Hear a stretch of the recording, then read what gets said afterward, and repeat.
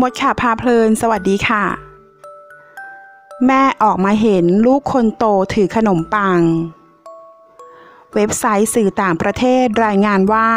เมื่อไม่นานมานี้ได้มีคุณแม่ชาวต่างชาติคนหนึ่ง โพสต์ภาพลูกชายคนโตที่เผลอหลับ บนโซฟาห้องรับแขก โดยคุณแม่ผู้ตั้งโพสต์ เล่าว่า ตนเองกำลังกล่อมลูกคนเล็ก ซึ่งนอนอยู่ในห้องนอนปล่อยให้ลูกชายคนโตนั่งเล่นที่ห้องรับแขกเพียงลำพัง พอกล่อมลูกคนเล็กเสร็จ ได้เดินออกมาก็เจอภาพนี้ เธอเล่าว่าก่อนจะมีลูกคนที่สองคุยกันกับสามีว่า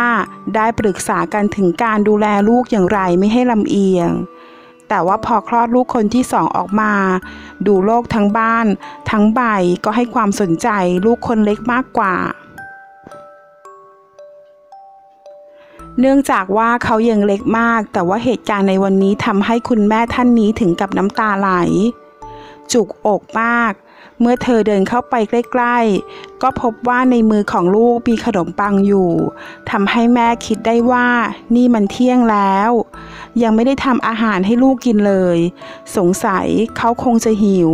จนต้องหาอะไรไปกินเอง เห็นแล้วก็สงสารลูกจับใจเพราะว่าในตอนแรกนึกว่าจะกล่อมลูกคนที่สองแค่แป๊บเดียว แต่ว่าไปไปมามาก็ใช้เวลาไปชั่วโมงกว่า จนลืมไปว่าลูกคนแรกนั้น ยังไม่ได้กินข้าวเที่ยงเลย ในตอนนั้นคุณแม่ท่านนี้ทำอะไรไม่ถูกเลยค่ะ เพราะว่ารู้สึกเสียใจ ไม่คิดว่าตนเองจะพลาดได้ถึงเพียงนี้ ให้เวลากับลูกคนเล็ก จนลืมลูกคนโตไปเลยค่ะทำให้มีชาวเน็ตจำนวนมาก มาแสดงความคิดเห็นว่า ฉันแค่ดูแลคนเดียวก็เหนื่อยสายตัวแทบขาด นี่สองคนคงจะเหนื่อยหน้าดู สถานการณ์แบบนี้คุณแม่ควรจะหาคนมาช่วยนะคะ เช่นญาติพี่น้อง หากเลือกที่จะมีลูกสองคนก็ควรจะเตรียมให้พร้อม อย่ามีแล้วเพิ่งมาบอกว่าตนเองสะเพร่า หมดคำพูดจริง ๆ ขอขอบคุณข้อมูลจากสำนักข่าวสยามนิว